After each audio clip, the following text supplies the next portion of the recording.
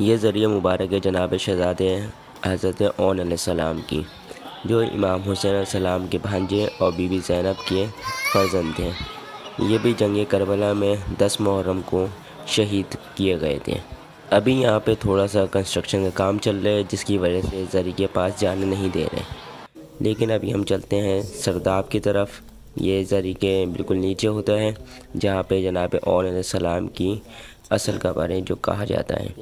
तो अभी चलते हैं, ये सामने आप देख सकते हैं, जनाब शहजादे सलाम की कब्र मुबारक है।